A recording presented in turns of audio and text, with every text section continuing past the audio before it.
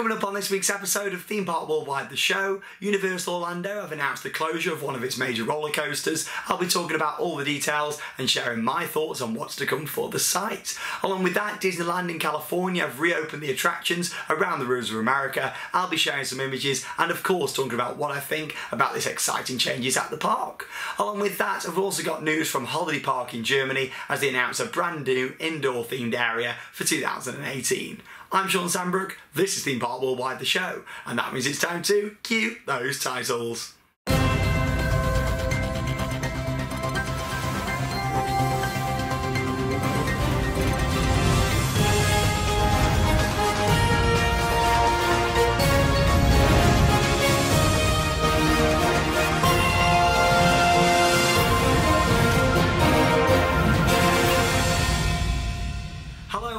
To this week's episode of the show. Now, before I talk about what we've been up to over the past week, along with what's to come on the channel, I just wanted to mention the horrible incident what took place this week over at the Ohio State Fair in the USA. Uh, there was a terrible incident what took place where someone was killed and there was other injuries on a KMG afterburner at the Ohio State Fair. I just want to say that my thoughts and everyone else at Theme Park Worldwide's thoughts are with everyone that's been involved or affected by this terrible incident. It's a shame to see that we've had so many incidents take take place, especially over the past year.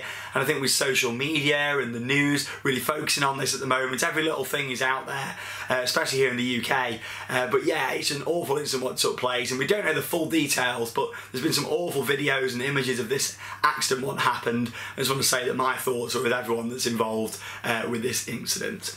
Uh, moving on from that, then, in terms of the channel over the past week, we've had quite a few new videos go online. Our Europa Park Day 1 and Day 2 vlogs are now online. Uh, make sure you check those out. Really good time me and Lee had out there. And we've still got an Alton Towers vlog to come this week and Holiday Park Germany as well from our first ever visit. Uh, along with that, another update on Secret Weapon 8 at Alton Towers. That's gone online and a couple of other little videos in there as well uh, that I hope you've enjoyed. So much to look forward to on the channel this week. Like I say, new vlogs from Alton Towers, Holiday Park. We, me and Alex have filmed a reflections video talking all about the Asia trip. And of course, we've got Oakwood coming up as well. Uh, now, we went over the weekend. We went to Blackpool on Saturday and Southport on Sunday, uh, where unfortunately I didn't actually film any videos over the weekend, which I'll talk to you about now. Uh, so on Saturday we went to Pleasure Beach and the park was really, really busy. Uh, they also ended up in us being a big group of us at the park that day, that much so that we didn't really manage to get that many rides done at all. It was that busy, talking to lots of different people and all that kind of stuff, that I just didn't film a vlog on Saturday. Uh, so do apologise, I was hoping to film one, uh, but I haven't done it. wasn't the best day I've ever had at Pleasure Beach, to be honest. It was that busy there was so much going on and I didn't film a vlog. However, we did still have a good day. It was nice to see people. Uh, not really much was happening with Icon either. Uh, not really much to report on. But I did still put some updates on Facebook, Twitter and Instagram. Uh, so make sure you look back through those to have a little look at the latest from the park. Uh, Sunday we went to Southport Pleasureland. I thought, you know what? Yeah, I'm going to film a vlog. Uh, we get there and yeah, there was quite a few rides closed. Uh, the Ghost Train was shut, Wildcat was closed, apparently that's going to be shut now for the foreseeable, according to a member of staff that I spoke to. Uh, Pirate Ship was closed, a few other rides. The coaster, what was shut last year, uh, that looping coaster, that's still closed, and we didn't have a very good day at all in there. In fact, we were in the park for, I'd probably say, less than an hour. We did a few little rides and thought, you know what, it really isn't worth getting any footage inside here today. So yeah, overall not a very successful weekend for videos, unfortunately, but luckily we've still got some really good stuff to look forward to in the next few weeks. Like I say, Oakwood's coming up this weekend, uh, we'll have a vlog from there. The following weekend it is our event at Chessington World of Adventures, where it is the chance for you guys to come and join us for a day at Chessington, and it's going to be really good. Like I say, if you want to come and day at a theme park, come to one of our events, because that is the time, the opportunity for you guys to come and join us for a day out. Uh, on the Sunday as well. Uh, we're going to be sharing live updates from Paultons Park. Uh, that's not an event, that is just our day out uh, where we're going to be going and filming a video. So make sure you do check that out when it goes online on the channel. And of course, we will be sharing live updates. Uh, but yeah, if you want to come and meet us Saturday at Chessington World of Adventures, uh, a week this Saturday, it's going to be a really good day, a really good event at the park. Yeah, so quite a bit's happened this week and quite a lot to look forward to on Theme Park Worldwide. There's also been some really good theme park news this week. We're going to share with you now in News Off the Rails.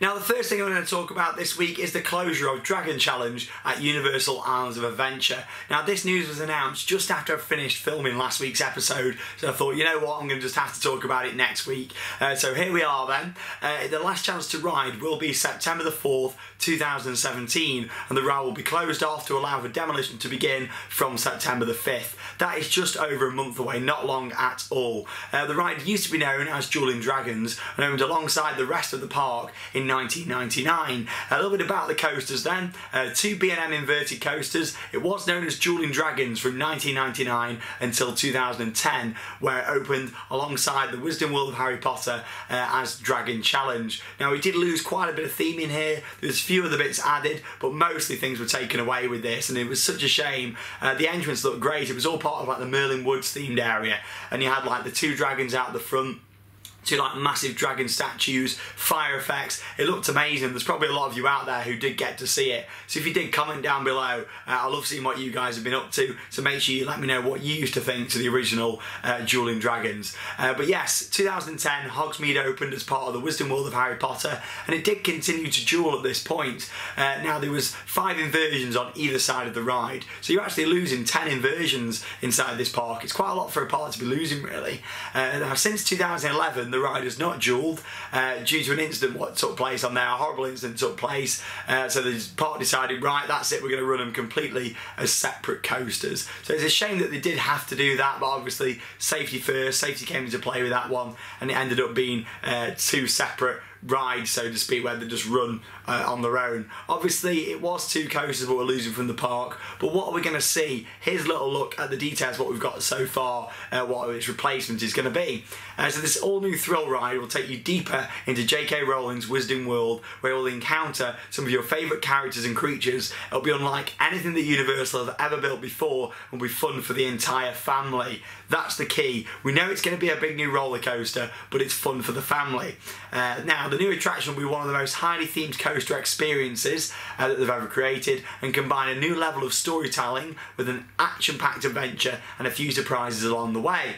Uh, the award-winning Universal creative team is once again collaborating with Warner Brothers and the production design team from Harry Potter films uh, to bring this new experience to life. That's like the press release what went out on their social media and the website last week when this was announced. Me personally, what do I think it's going to be? I mean, you got to think what we've already got Harry Potter wise at the park. Of course, you've got Harry Potter and the Forbidden Journey, which is a brilliant attraction, like a robo arm, uh, what moves round, a combination of great theming and screens. And then over in Universal Studios, over in Diagon Alley, uh, of course, you've got Gringotts in there, which is good. I, I, still prefer Forbidden Journey by a long way, but Gringotts, that's more of a thrill ride, so to speak. With this one, I think we're going to see something along the lines of maybe Arthur at Europa Park, some sort of ride system like that, a family ride, maybe a powered coaster, uh, something like that I think would work great. I mean, you've got to imagine that Arthur style ride coaster, uh, ride system, sorry, with all the Harry Potter theming, I think it'd look great. And that's personally what I think we could be seeing, something like that. I'm not saying it'll be directly that, but something along those lines, a family coaster wise. Uh, if not, maybe we could be seeing something like an Intamin freefall coaster, like 13, something like that. But it'll be very interesting to see what they get. I'd love to see them though with that sort of ride system. But you've got to think, how would like the, the, the public take it, so to speak. Two massive coasters with 10 inversions in total there uh, being replaced by something uh, like that. It'd be quite interesting to see. Uh, but yeah, my thoughts on it, I was never a big fan really of Dragon Challenge. I mean, I think if I'd have rode the original Dueling Dragons, I'd have loved it. And the fact that you could be on the front row, especially going up into them vertical loops, I would have loved to have seen it. And I've watched many POVs and many videos of it, and it did look great. Uh, but overall, in terms of the coasters, some of the worst B&M coasters have actually been on, in my opinion. I didn't enjoy them that much at all. And there's not really a lot of theming around the ride. You can see all the warehouses all underneath and around. I just didn't really like it that much. I've never been a big fan since I first went on them in 2014. But like I say, if I saw them how they were originally, I think I'd have really liked it. Because uh, that was the whole idea behind that ride for them to duel. And I know they had to change that uh, because of safety. Uh, but it is a shame that I never got to experience that uh, when I did. I'll keep you up to date with what news we get here uh, from Universal when we announce uh, the new details on this ride.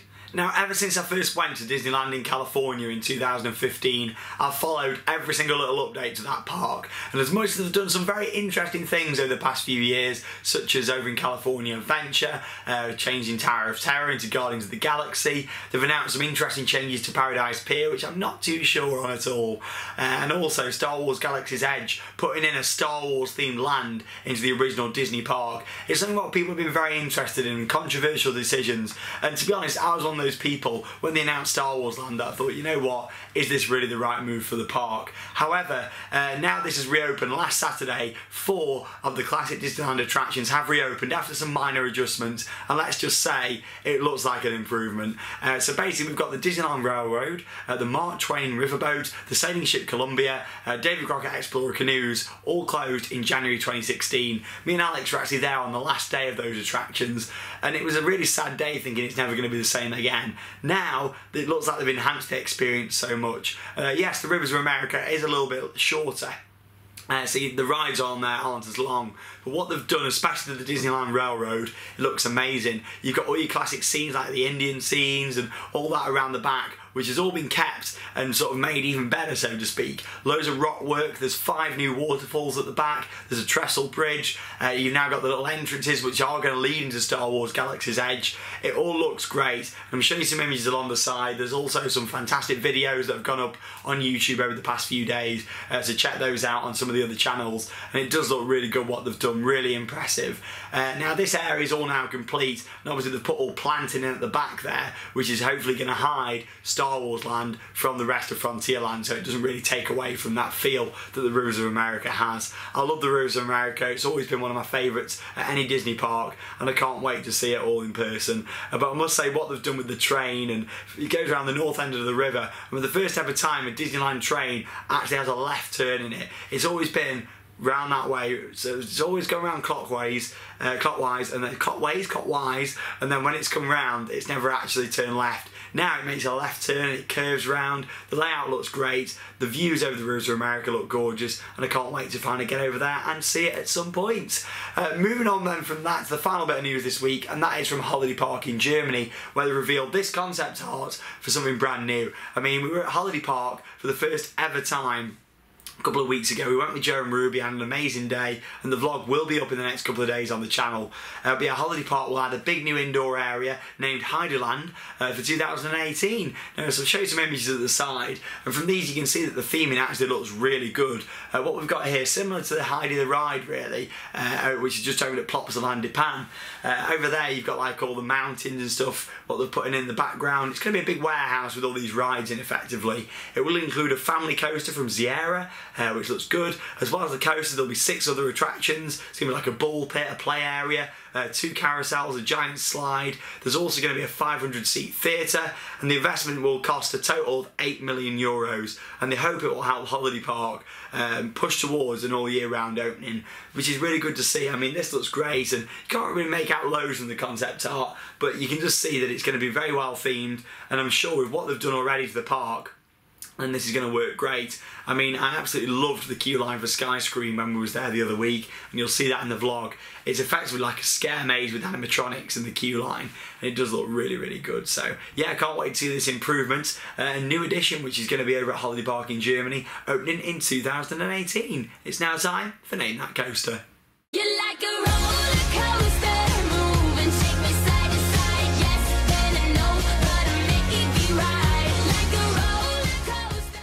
Lots of exciting news in the theme park industry this week, let's move on to Name That Coaster. Now last week it was from a Disney park and quite a few people did guess that it was the lift hill from Big Thunder Mountain Railroad. But the question is, which Disney park was it from? It was actually from our closest here in the UK, of course Disneyland Paris. Uh, a really beautiful park and in my opinion the best version of Big Thunder Mountain. It really is stunning. Uh, the fact it passes under the water and then onto the mountain and then back underneath to the station it's a really impressive ride. So much thought went into that for when it opened back in 1992. It's also most recently last year went through all sorts of refurbishments and reopened earlier this year uh, with the new explosive finale. It looks great what they've done. And yes, Big Thunder Mountain at Disneyland Paris uh, for last week's. It's now time for another one. Remember, it is just for fun. And make sure you share your comments with what you think it is down below. Here we go.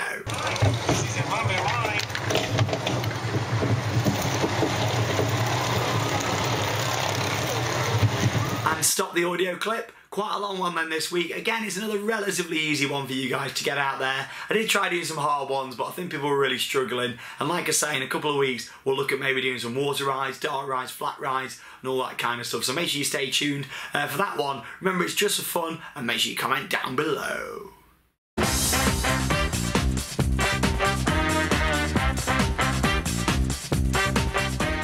Welcome to Merch Paradise, where this week I'm going to show you an item from my local park, which is of course Alton Towers. Now Oblivion is the park's dive coaster. It was the original B&M dive coaster, a world's first when it opened, and I'm going to share this bit of merchandise that I actually bought in 2008. Now obviously Oblivion was 10 years old in 2008, and here we go. I've got this little magnet. Uh, this was celebrating the ride's 10th birthday. It just says down the bottom there, 1998 to 2008, limited edition magnet up the top there, just above the logo. I thought I'll buy that one. It's a nice commemorative piece to have here at the World of Theme Parks. But obviously next year it'll be 10 years since I bought this, meaning that Oblivion will actually be 20 years old. 20 years of having the B&M dive coaster. And you look at how far that concept's gone in terms of there being floorless trains on other ones and a lot taller, the likes of SheiKra and Griffon. And wow, there's been so many builds, especially across Europe as well. We've had our fair few. I just thought I'd share that nice little old item to get there from Alton Towers. I've got so much from Alton Towers. It's like my own mini Alton Towers archives, really. Uh, but yeah, it was my park that I loved so much as a kid, the one that I visited so much, and the one to thank for Theme Park Worldwide even existing. Questions, questions, questions everywhere. So welcome to Question Time, where this week I've got four different questions sent in by the viewers of Theme Park Worldwide. So let's have a little look at what you guys want answering this week. The first question is coming from Ryan, who has asked, do I think Chessington will remove Vampire for a new attraction in the near future? Do I think it's going to happen in the near future? No. But in the distant future, maybe so. Maybe in the 10-year plan. I don't think we're going to see anything happen with the site in the next maybe three or four years. But potentially six, seven years down the line, we might see something go in. I mean, plan application and planning permission has always been something what Chessington have struggled with. So putting anything down that end again, would they be able to build anything of that scale, a massive coaster? Uh, we'll have to see what happens with this one. Uh, but yeah, I would I like to see something replace Vampire? Maybe so, depending on what it was. But it is a classic attraction at the park. I did say a couple of years ago that I thought it was getting a bit old and a bit jolty. But since then, I think they've done a few improvements to it. And you know what? They've painted things up down there. Transylvania down that bottom end, uh, which is now in the Wild Woods. It does look quite nice nice what they've done with it. So yeah, hopefully there's still quite a few more years left in Vampire. Uh, question now from Matt, who was asked, if I could make my own themed attraction, what would I have in it and what would it be? I've always loved Wild West theming, like Frontierland at the Disney parks, Far West at Port PortAventura. I've always loved that style of theme. Uh, but I'd love to do like a massive water coaster theme to that, like a like a sort of mill style theme, a bit like Silver River Flume, it's got like the water wheel and stuff, but have it all as a Mack water coaster. I think it'd look great. and I'd love to build one inside Planet Coaster if we get water coasters at some point. So that's what big shout out to Frontier for that one. Come on, let's have some water coasters. Uh, yeah, I love Planet Coaster. And on that note, there will definitely 100% be Planet Coaster coming this week. I know I've said it for a while, uh, but I've just not had time. But I have filmed an episode. It's uploading this week and it's going on in the next few days. I promise you, it is coming. Don't worry.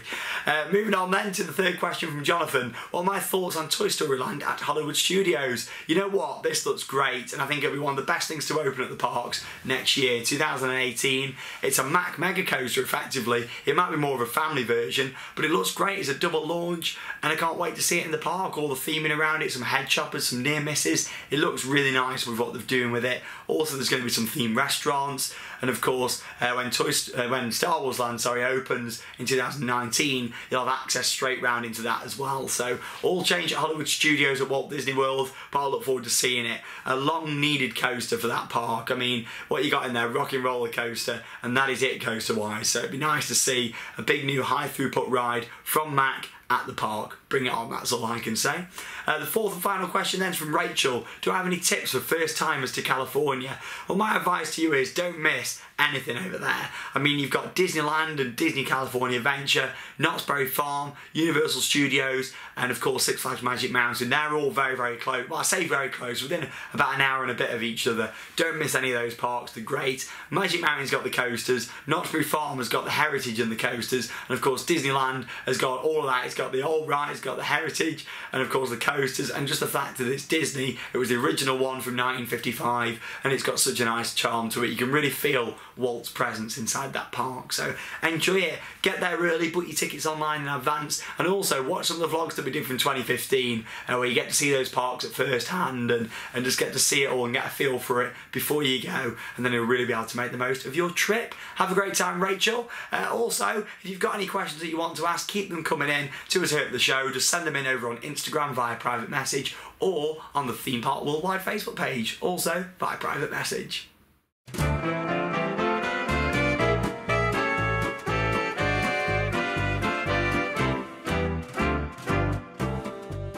So it is time for a bumper TPW showcase. We keep getting more items sent in this year than ever before, so keep them coming in to us here at the show via Facebook and Instagram. Firstly then this week we've got Carl with a Mumbo Jumbo on-ride photo. Thanks for sending that in there, Carl.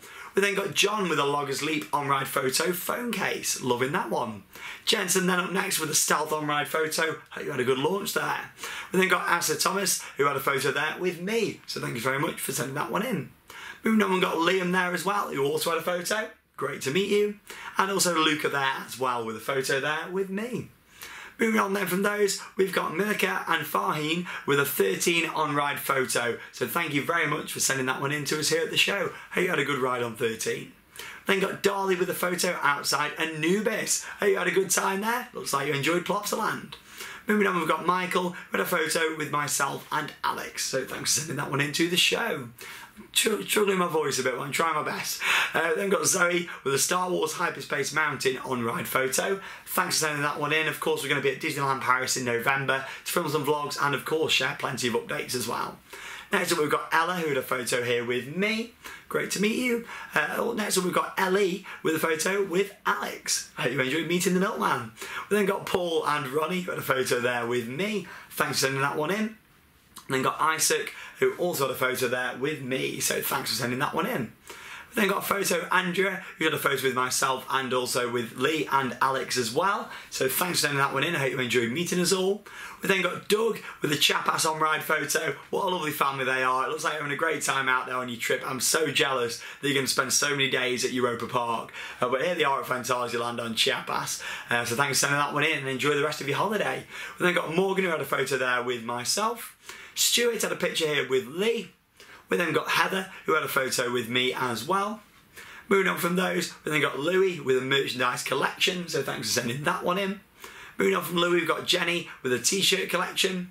And then finally, we've got Ben with a selection of merchandise. Thanks for sending in all your photos, whether on-ride photos, off-ride merchandise. Keep them all coming in for next week's episode. We've also got lots and lots of birthdays this week. So a big happy birthday to all of these people from us here at Theme Park Worldwide. We've got Sean, love the name, uh, Jamie, Melanie, uh, Melkina, James, Charlotte, Dan and Lewis. Happy birthday to all of you from Theme Park Worldwide. Thank you very much for watching this week's episode of Theme Park Worldwide, the show. Hope you've enjoyed it and I'll be back next Wednesday with another episode. Make sure you stay tuned this week for brand new vlogs from Alton Towers, Holiday Park in Germany and of course Planet Coaster. It is coming this week, I do promise. Thank you very much for watching and that means it's time to cue those credits. Bye guys.